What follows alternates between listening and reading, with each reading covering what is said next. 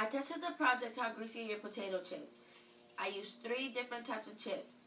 Original, baked, and kettle.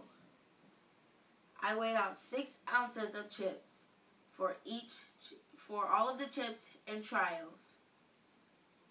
I put three separate pieces of graph paper out, put the chips on top, and put a piece of wax paper over it.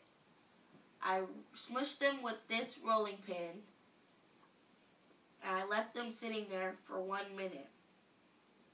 After I threw away everything and I left I kept the graph paper so I could hold it up to the window and see how much grease was on it. When I was done testing, I put all the results together. All three trials, I found that baked chips had the least oil, kettle chips had the second least oil, and original chips had the most oil. This project was very interesting to me because I got to know how much grease was on my potato chips. I have always wondered how much fat and grease were on my potato chips. And doing this project helped me figure out it. I really enjoyed this project because now I know how many servings to eat and how much grease are on them.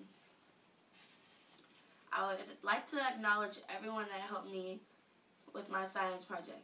It was very fun and I also learned a lot. Now I can go and tell my family members how much grease are on them and what they are eating in their potato chips. I also would want to thank Ms. Hayden for the science fair workshops and after school and for the extra credit, I mean, for the extra lunchtime help during lunch.